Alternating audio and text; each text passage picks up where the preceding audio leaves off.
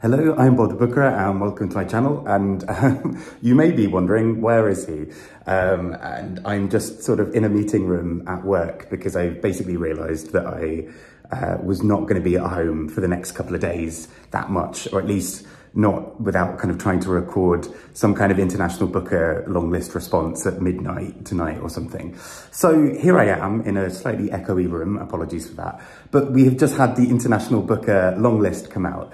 Um, and uh, really, really excited to see what is on this, um, particularly as so many of these books are brand new to me. I've not heard a lot about really any of them.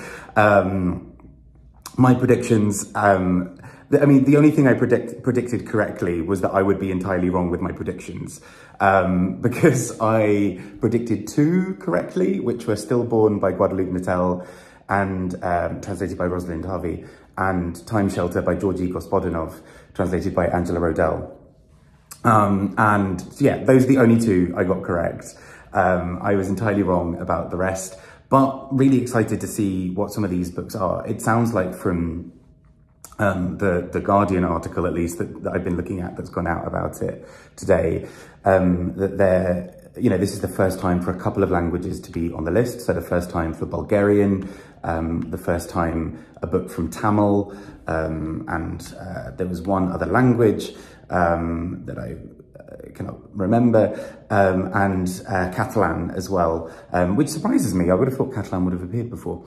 Um, but uh, this is really exciting because there's a long list here. There are lots of books to, to check out.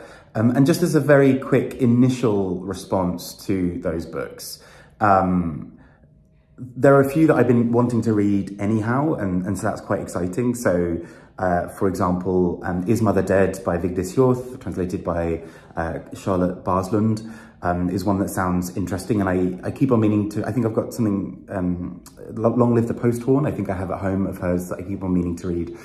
Um, there's also Boulder by uh, Eva Baltasar, um, translated by Julia Sanches, which I keep on meaning to read as well. I keep on hearing really great things about it.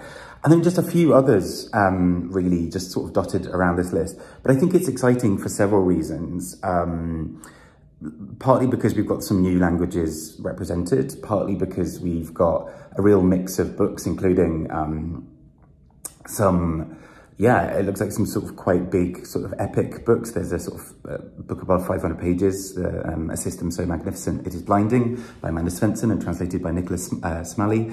Um, and then just a few other just books dotted around really. It's a weird list. I think I'm still trying to get my head around it, but I don't think that makes it a bad list. I think it might still be uh, quite an interesting one. Um, I'm really excited, especially for the Fitzcarraldo ones. There are three Fitzcarraldo books on the list, a really good bit of representation for Fitzcarraldo again. But the, I think the, the, more surprising thing for me is that we haven't got um, a few sort of staples almost of um, of sort of presses on, on this list. So we haven't got Lolli editions, for example. I thought they would be on there with um, with Threadripper, um, although Strega was also a book that a few people were talking about. Um, I think I'm surprised not to see um, a couple of other books really. Um, you know, Three Times Rebel Press I thought would maybe make a debut on this list. Um, I think I thought that uh, we'd probably see something from Tilted Axis um, after their three books last year. And I think at least a couple of their books this year would have been eligible and I think would have been really strong contenders. Um, but that's the way with prizes, right? With This is the result of five people getting together and having a think about what their favourite books have been. Um, so all of this is to say, I mean, I'm going to be reading the long list anyway, so it doesn't really change matters, although I've only read one, which is Time Shelter. So uh, this is going to be a busier reading, uh, reading sort of month or two than I thought it might be. um, but uh, apart from that, I think this is a very exciting list and I'm, I'm really keen to, to read through it and, and see what happens. I will be doing hopefully solo reviews for most books um, on the list.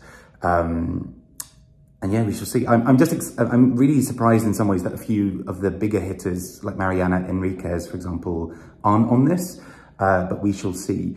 Um, I've got to get back to work, but uh, I shall leave you with that there. I'd really love to hear your thoughts if you've read any of these other ones, um, if you're planning on reading the whole list or just some of it or, or what have you.